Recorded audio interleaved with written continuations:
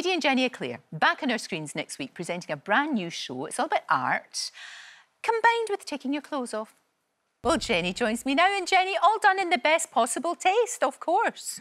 Well, it is. It's you know, it, it, it, people do take some clothes off, but they don't take everything. There's nothing to frighten the horses here because there are rules. It's daytime television. It's 5:30, Channel 4 every day. I'm so excited, Lorraine. I love this show so much. I mean, we did make it under extraordinary circumstances uh, in November, and um, it's such good fun. It really is. That we've had so many laughs, and the, the, everyone. It's all about the contestants, really. I mean, I, I'd rather it was all about me, but it is all about contestants and how how joyful they are and how uh, Diana Ali is the resident art guru. I mean, I stick my nose in where it's not really wanted all the time, but uh, she's the real helping hand. And just seeing people progress over the week and trying stuff they've never tried before, and they come in and say, "I only do pencil, I don't do color, I don't do this, and I don't do that." Three days later, they're they're doing everything they said they wouldn't. Look, you see, people are using color, and it was just Oh, it was a joy to do. It really was. And they seem really, really lovely people. And also, so many of us now are trying new hobbies, aren't we, Jenny? We're trying things like, you know, because we can all draw a wee bit, and it doesn't actually matter what it's like in the end of the day.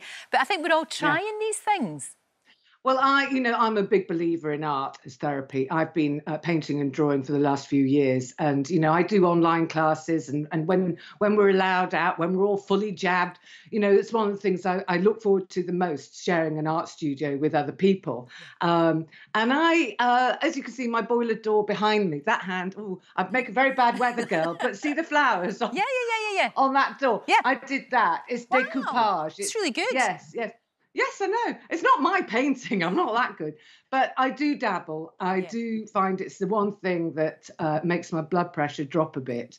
And uh, you can't live by jigsaws alone during lockdown, you know. And I, I just think that this is a great opportunity for amateur painters. I mean, we're not pretending that these are, you know, going to be sold in the posh galleries down Cork Street. They're not.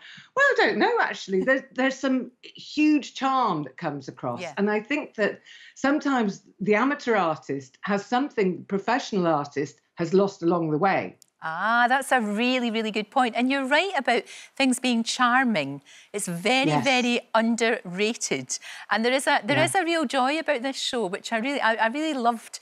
You know, it just you, you got so absorbed. It's like a well, little bit when you're, you know, you're saying art is therapy. You get so yeah. absorbed in it that you forget about everything else that's going on, and that's good for the soul and you're making presents for all your family every time you draw. I mean, my family wince every time it's their birthday or Christmas. They all go, "Oh God, what's she going to give us? What's she going to give us? Oh no!" Uh, but you know, I sort of, I, yeah, I it just. It, I, I genuinely think that we've got to get over ourselves as well and stop being so self-critical and you know uh, not so judgmental of everything we do. And if it is really awful and you really hate it you know put it in the bin. There's yeah. always another piece of paper. I use packaging uh, you know everything i know that a lot of people in past year have you know their incomes have collapsed. I mean god knows my industry is is, is in dire straits. Mm. so you know i use any bit of packaging that comes through the door I tear it apart and i use that that's a great idea. What a brilliant, what Aren't a brilliant way to. You are so you know, clever. You are when you so said clever. You, your, your pick of the TV week, week, I mean, it does look really good, that programme you picked out, Lorraine, but a little bit of my heart thought, she's going to say Drawers Off. She's going to say Drawers Off on Channel have. 4. That was shameful. I should have actually. I stand corrected. I stand corrected. Now, look, you said obviously your industry badly, badly affected, of course. Yes. But fingers crossed, you might be able to go out on tour later in the year, perhaps. Yes, I have my tour, which was uh, titled 60, uh, open brackets, a little swear thing in the middle. I won't mention it now. I'm being on my best behaviour. It's very early in the morning. um, and um, I'm hoping to go out in September with 60.